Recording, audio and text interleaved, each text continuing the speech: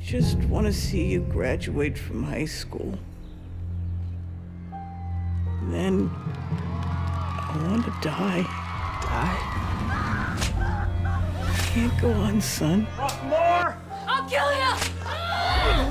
You hear me? No, Josh. Mom.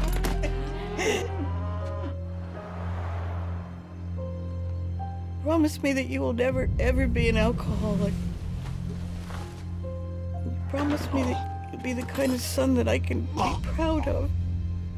Sure, Mom. No, promise me. Promise me. I promise.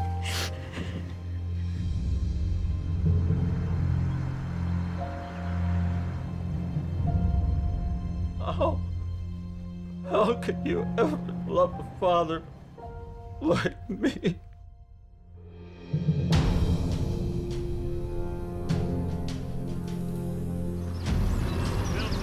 You boys off of my property! Ain't you gonna do something? I built that house! And promised it to your son. The hell I did! You were too drunk to remember! Get on out of here!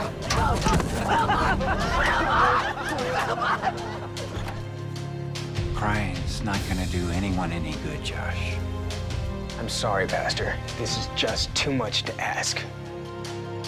I'm not asking you, Josh. If you ever touch me again, I'll kill you. You understand me? No one understands. Dad, I have something to say to you. Even if he did exist, how could a man who lived 2,000 years ago possibly influence someone's life today? Well, I guess that's what you'll need to find out.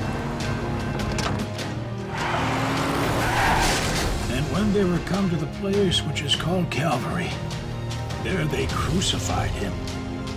Then said Jesus, Father, forgive them, for they know not what they do.